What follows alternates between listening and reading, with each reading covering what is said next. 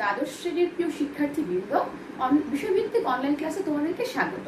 আমি রিজা আক্তার, প্রভাষক, উৎপাদন, ব্যবস্থাপনা ও বিপণন বিভাগ, Ahmed Bawani academy school and college.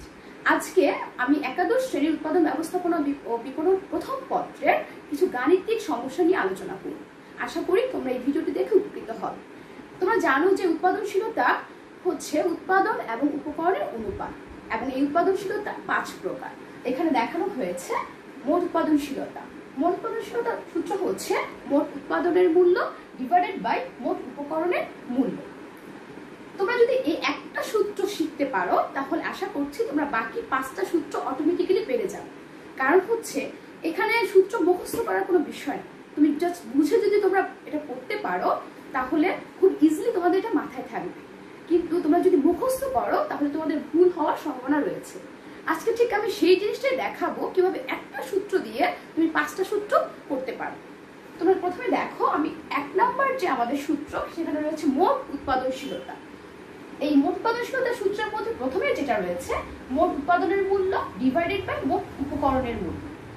অর্থাৎ এই একটা সূত্রে হচ্ছে মেন এই সূত্র জানতে পারলে, মাথায় রাখতে পারলে তোমরা বাকি সবগুলো সূত্র পেরে যাবে। আচ্ছা দেখো সেকেন্ড সূত্র যেটা আছে, যন্ত্রের উৎপাদনশীলতা। মোট উৎপাদনের মূল্য ডিভাইডেড বাই মোট যন্ত্র বাবদ ব্যয়। এটা কোথেকে আসবে তোমরা জানো যে উপকরণ উৎপাদনের উপকরণ চারটি। সেখানে আমরা চারটি উপকরণ থেকে যে বিষয়গুলো নিয়েছি, এক হচ্ছে কাঁচামাল, দুই হচ্ছে যন্ত্র, তিন শ্রম, চার হচ্ছে অন্যান্য যে বাবদ আমাদের খরচ হবে সেগুলো। তো এই উপকরণের মধ্যে যে চারটা বিষয় আসবে, সেটা হচ্ছে কাঁচামাল যন্ত্র, শ্রম এবং অন্যান্য ব্যয়। আমাদের দুই নাম্বার সূত্র হচ্ছে যন্ত্রের উৎপাদনশীলতা। অর্থাৎ তুমি যখন যন্ত্রের উৎপাদনশীলতা নির্ণয় করবে, সেখানে তোমার দেখো উপরে, সূত্রের উপরে রয়েছে মোট উৎপাদনের মূল্য। অর্থাৎ প্রত্যেকটা সূত্রের মধ্যে ওপরেরটা সেম একই জিনিস থাকবে। শুধু নিচের জায়গাটা এই জায়গাটা চেঞ্জ হবে। সেটা কি হবে? কীভাবে হবে? যখন যে উৎপাদনশীলতা নির্ণয় করতে বলবে যেমন এখানে বলেছে যন্ত্রের উৎপাদনশীলতা। নিচে ঠিক সেই কথাটা এখানে আসবে, যে যন্ত্র বাবদ কত টাকা ব্যয় হয়েছে। অর্থাৎ যন্ত্রের উৎপাদনশীলতা নির্ণয়ের ক্ষেত্রে আমরা শুধু একটা জিনিস মাথায় রাখব, সেটা হচ্ছে নিচে আমার কোন জিনিসটা আসবে।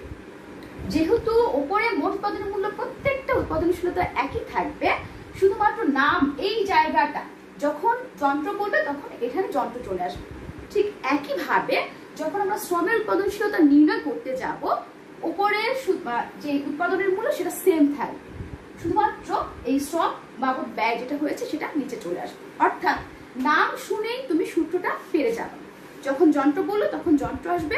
যখন শ্রম বলছে, তখন শ্রম আসছে। ঠিক একইভাবে আমরা দেখছি চার নম্বর যে সূত্র আমাদের, মালামালের উৎপাদনশীলতা। এই মালামালের উৎপাদনশীলতা সেম উপরে থাকবে মোট উৎপাদনের মূল্য। নিচে হচ্ছে মোট কাঁচামাল বাবদ ব্যয় বা কাঁচামালের মূল্য। অর্থাৎ আমরা দেখছি মালামাল আর কাঁচামাল একই কথা। যে মালামাল অনুযায়ী এখানে নিচে চলে আসছে।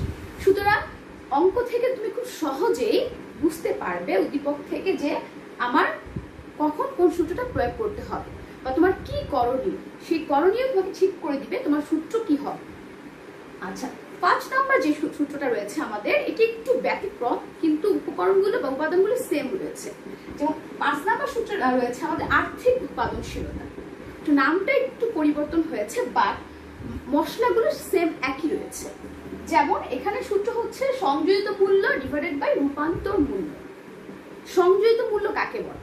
সংযোজিত মূল্য হচ্ছে বিক্রয় মূল্য থেকে কাঁচামালের মূল্য বাদ দিলে পাওয়া যায় সংযোজিত মূল্য। তোমরা আগে দেখে থাকবে, এখানে কাঁচা মালের মূল্যটাও দেয়া আছে। আর নিচে হচ্ছে রূপান্তর মূল্য। তো তোমরা জানো উপকরণ চারটার মধ্যে কাঁচামাল চলে গেল। তো বাকি রইল কয়টা? তিনটা। যন্ত্র, শ্রম এবং অন্যান্য। অর্থাৎ এই তিনটা মিলেই হবে রূপান্তর মূল্য। তাহলে খুব সহজে বোঝা যাচ্ছে যে আমি যদি একটা সূত্র তোমরা মাথায় রাখতে পারো, বাকি চারটা সূত্র তোমরা ইজিলি পেরে যাবে। কারণ সবগুলো সূত্রের জিনিস বা উপকরণগুলো সেম কিন্তু শুধুমাত্র নামের পার্থক্যের কারণে তোমার সূত্রগুলো আলাদা হয়েছে। আজকে এখানে আমি একটি উদ্দীপক দিয়েছি এবং এই উদ্দীপক থেকে তোমরা তোমাদের যে কাজগুলো করতে বলবে সেটা করতে পারবে। যেমন এখানে আমি একটা বলেছি এক্স প্রতিষ্ঠানের দুই হাজার উনিশ সালের উৎপাদন সম্পর্কিত তথ্য নিম্নরূপ। অর্থাৎ আমি কিছু তথ্য দিয়েছি এবং কিছু টাকার অ্যামাউন্ট এখানে লিখেছি। এটার উপর ডিপেন্ড করে তোমাদেরকে একটা হবে যেমন এখানে আমি মোট উৎপাদনের মূল্য দিয়েছি দুই বিশ লক্ষ টাকা। কাঁচামাল বাবদ এক লক্ষ টাকা, যন্ত্র বাবদ খরচ দুই লক্ষ টাকা, শ্রম বাবদ ব্যয় পাঁচ লক্ষ টাকা এবং অন্যান্য বাবদ ব্যয় দিয়েছি দুই লক্ষ টাকা। তাহলে এখান থেকে খুব সহজেই তুমি যদি সূত্রগুলি মাথায় রাখো, তাহলে তোমাদের যে ওয়ার্কিংস বা করণীয় সেটা বের করতে পারবে। যেমন আমি এখানে করেছি যে এক্স প্রতিষ্ঠানের দুই সালের মোট উৎপাদনশীলতা নির্ণয় কর তাহলে মোট উৎপাদনশীলতা নির্ণয় সূত্র হচ্ছে উপরে এক নম্বর সূত্র যে মোট উৎপাদনের মূল্য ডিভাইডেড বাই মোট উপকরণের মূল্য।